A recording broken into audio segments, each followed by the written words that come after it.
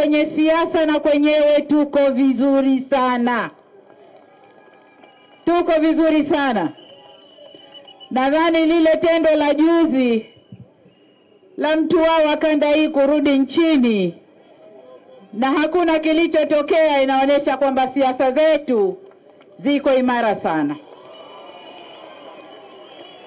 ziko imara sana.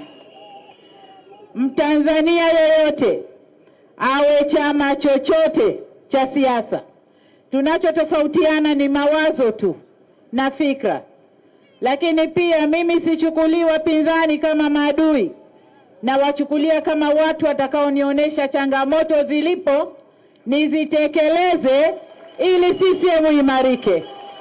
CCM oye! Kwa hiyo mdogo wangu amerudi, ameniambia mama, nataka kurudi. Nikamwambia rudi. Amerudi, tuimarishe siasa, si ndio? Mwanamme ni yule anayejiamini, mwanamke ni yule anayejiamini.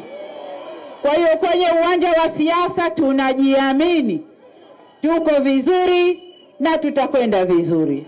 Tumesema kwanza tunashughulikia kupeleka pesa kwenye maendeleo ya wananchi na hatukati maeneo ya utawala, kwa sababu kukata maeneo ya utawala ni kuongeza gharama kwenye utawala na kunyima fedha kwenda kwa wananchi kwenye maji, kwenye elimu, kwenye umeme na mambo mengine au kutoa ruzuku ya mbolea.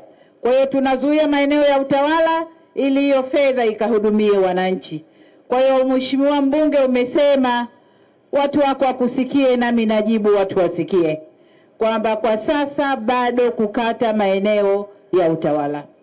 Ndugu zangu, baada ya kusema hayo, ni washukuru, niwahakikishie tuko vyema kwenye uchumi, tuko vizuri vizuri sana kwenye maendeleo ya jamii, maendeleo ya watu, maji, umeme, elimu, afya na mambo mengine namna hiyo, tuko vizuri.